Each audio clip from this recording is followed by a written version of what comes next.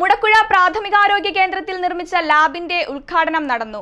Panchayat vice president A T Ajith കുമാറിന്റെ honorarium ഉപയോഗപ്പെടുത്തിയാണ് ലാബിനു വേണ്ട അടിസ്ഥാന സൗകര്യങ്ങൾ ഒരുക്കിയത്. മുടക്കുഴ പഞ്ചായത്തിൽ പുതിയതായി നിർമ്മിച്ച ലാബിന്റെ ഉദ്ഘാടനം Eldhose Kunnappilly M L A നിർവഹിച്ചു.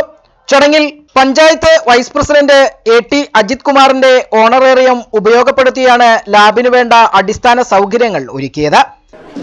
കോവിഡ് രോഗികളെ അനുദിനം പെരുകിക്കൊണ്ടിരിക്കുകയാണ്.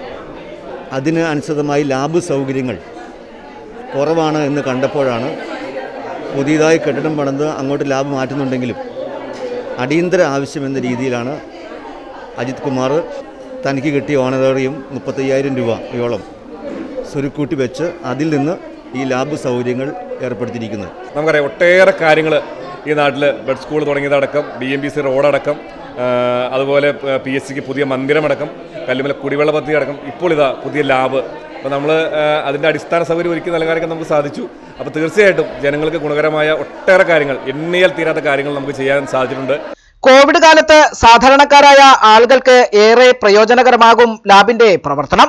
സ്വകാര്യ ലാബുകളെ അപേക്ഷിച്ച് ടെസ്റ്റുകൾക്ക് കുറഞ്ഞ നിരക്കിലാകും തുക ഈടാക്കുക. ചടങ്ങിൽ ബ്ലോക്ക് പഞ്ചായത്ത് അംഗം കെ പി വർഗീസ് പഞ്ചായത്ത് അംഗങ്ങളായ Shoja Roy L C Paulose Shaimy Varghese Lissy Mathai Mini Shaji P P Avarachan N P Rajeev doctor Rajesh B Nair health inspector Jiji P Thomas എന്നിവർ സംസാരിച്ചു. News desk Perumbavoor.